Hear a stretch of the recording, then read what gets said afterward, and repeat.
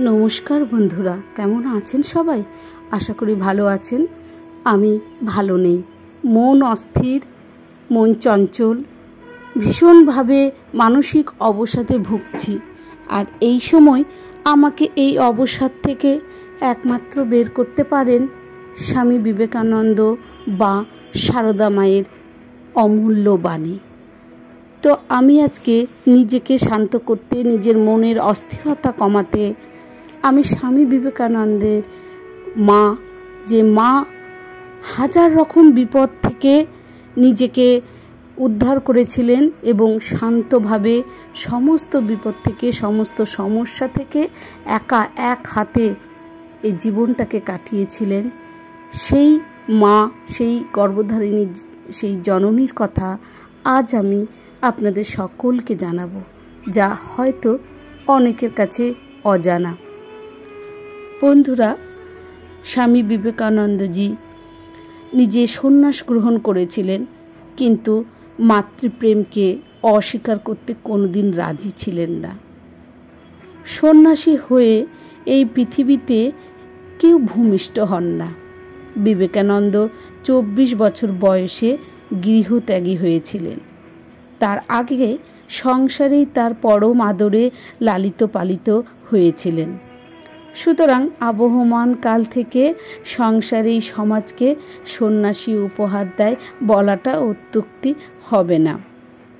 বিবেকানন্দ যখন বিলু বা বিলেশ্বর বা নরেন্দ্রনাথ তখনকার ছবিটা একটু চেনা না থাকলে পরবর্তী জীবনে মায়ের প্রতি, ভাইদের প্রতি, বোনদের প্রতি তার প্রবল টান এবং কর্তব্য করতে না পারার জন্য বিবেক দংশনকে ঠিক বুঝতে পারা কঠিন হতে পারে। এই বিবেক দংশন আমৃত্যু কতখানি তীব্র হয়ে উঠেছিল এবং মাতৃসেবায় আপাতত ব্যর্থ থাকে হৃদয়বান বিবেকানন্দর কেন পাপ মনে হয়েছে তাও আমরা আজকে এই জায়গায় এই সম্বন্ধে জানব। যে সংসারে বিলে অথবা নরেন্দ্রনাথ জন্ম নেন তাকে সোনার সংসার বলা অত্যুক্তি হবে না। বিলে নামটায় আমাদের আপত্তি নেই। কিন্তু পরবর্তী পর্যায়ে আমরা প্রমাণ পেয়েছি, একবার বিবেকানন্দ গর্ভধারিণী ভুবনেশ্বরী দাসী পেলুর মঠে এসে একতলা থেকে উঁচু গলায় বিশ্বজয়ীকে ছেলেকে ডেকেছিলেন। বিলু!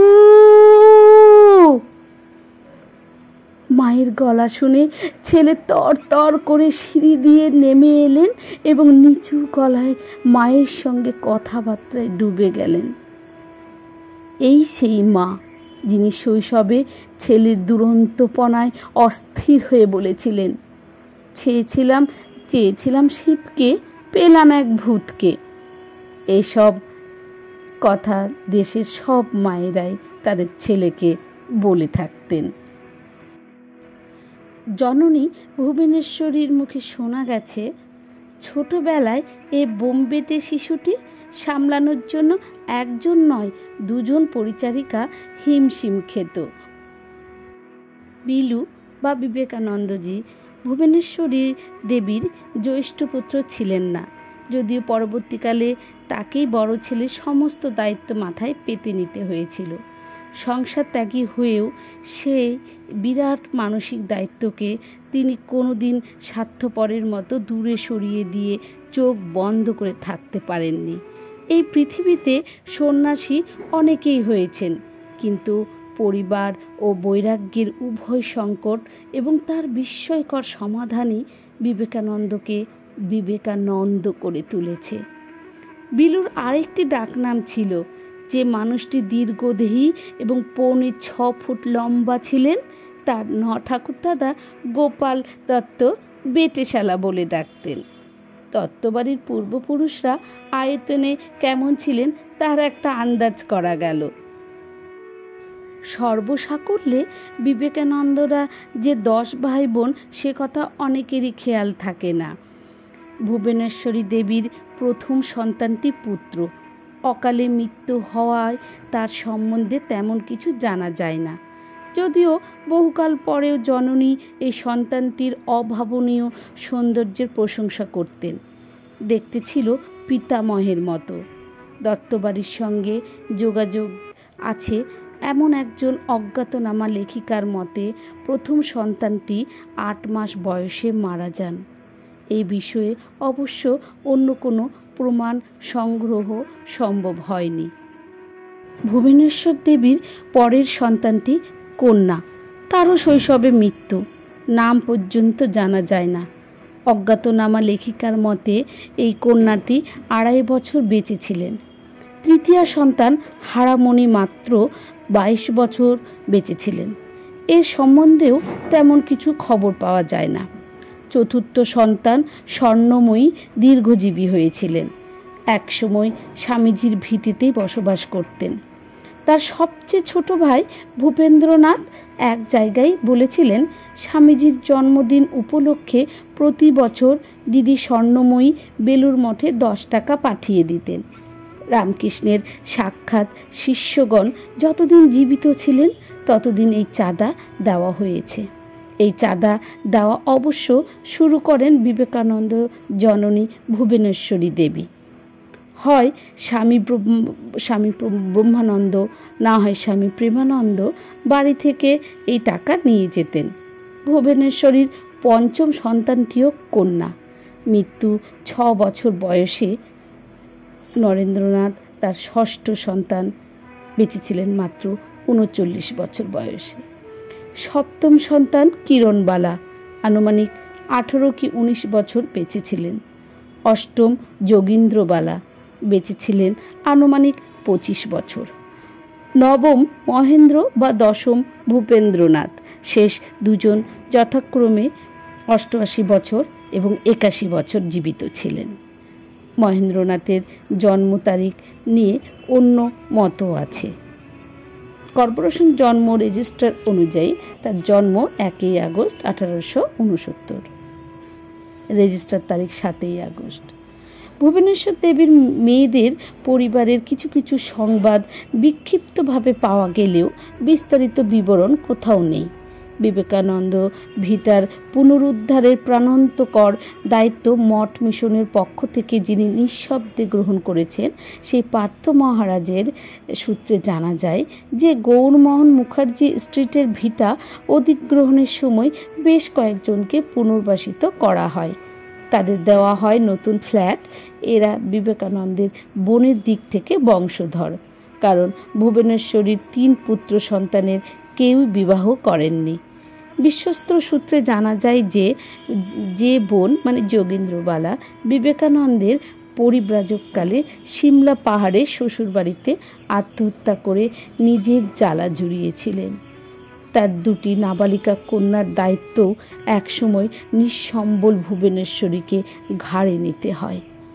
অন্য আর এক সূত্রে জানা যায়, ভুবনেশ্বরীর এই জামাতা আবার বিবাহ করলে শোকতপ্তা মাতা ভুবনেশ্বরী নতুন বউকে এবং জামাইকে নিজের বাড়িতে এনে আদর যত্ন করেছিলেন।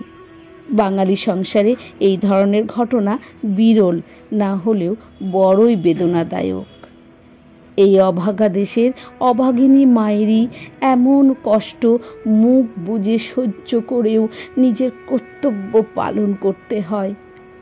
স্বামীজির বোনদের কবে কীভাবে বিয়ে হলো, পিতৃদেব বিশ্বনাথ বেঁচে থাকতে থাকতে কতটুকু দায়িত্ব পালন করতে পেরেছিলেন, তার আকসিম অকাল মৃত্যুর পরে বোনেদের বিবাহ ব্যবস্থায় দাদা নরেন্দ্রনাথের কোনো ভূমিকা ছিল কি না? এইসব ব্যাপারে বিবেকানন্দ বিষয়ক বিপুল তথ্য সমুদ্রে তেমন কিছু খুঁটিনাটি অভিজ্ঞ মহলের নজরে পড়েনি। আমরা শুধু জানি তার বড় দুই দিদি ইংরেজি শিক্ষার আলোক লাভ করে বেথুনে পড়াশোনা করেছিলেন এবং ছোট দুই বোনও মিশনারি শিক্ষা প্রতিষ্ঠানে বিদুষী হয়েছিলেন।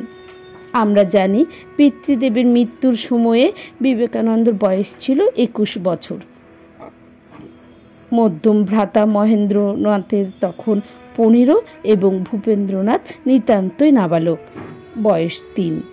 কিরণবালা ও যোগেন্দ্রবালার যেমন খোঁজ খবর বিবেকানন্দের বিস্তারিত জীবন কাহিনীগুলিতে আজও নেই এবং পরিবার সম্বন্ধে সর্বপ্রকার সংবাদে তুলনাহীন রসদ্দার মহেন্দ্রনাথ তার প্রায় নব্বইখানি বইয়ের কোথাও এই বিষয়ে তেমনভাবে মুখ খোলেননি। কিন্তু স্বামীজির নিজের লেখা চিঠিতে মাঝে মধ্যে কিছু উল্লেখ আছে। উনিশশো সালের পনেরোশো ফেব্রুয়ারি লস এঞ্জেলস থেকে মিসেস সারা বুলকে বিবেকানন্দজি লিখেছিলেন, আমার বোনের একখানি পত্রে জানলাম যে তার পালিতা কন্যাটি মারা গেছে। ভারতের ভাগ্যে যেন একমাত্র দুঃখই আছে, তাই হোক সুখ দুঃখে আমি যেন বোধ শূন্য হয়ে গেছি। পরিবারের সভ্য এবং সভ্যাদের সম্পর্কে একটু বিবরণ। এই জন্যে দেওয়া প্রয়োজন হলো যে, মা, বোন, ভাইদের সম্পর্কে স্বামীজির কেন উদ্বেগ এবং পরিবারের পুত্র হিসেবে দায়িত্ব পালনে ব্যর্থতা সম্পর্কে তার মনে অন্যায়বোধ কেন তা চোখের সামনে থাকা প্রয়োজন?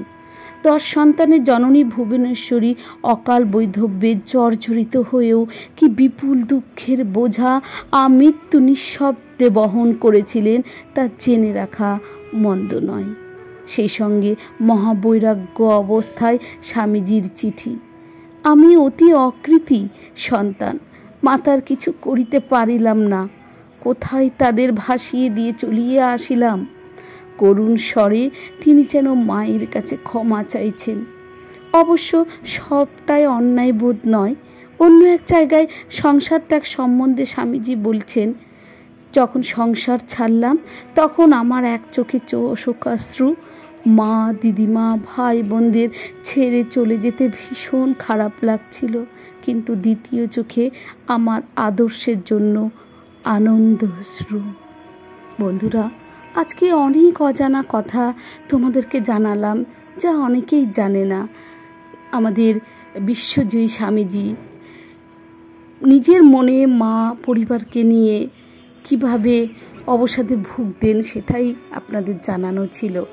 তবু লড়ে গেছেন, তবু তিনি বিশ্বজয়ী হয়েছেন আর ওনার মাতা এত শোক, এত বোঝা, এত চাপের মাঝেও নিজেকে স্থির রেখেছিলেন। আর আজ তো তাই আমাকেও স্থির থাকতে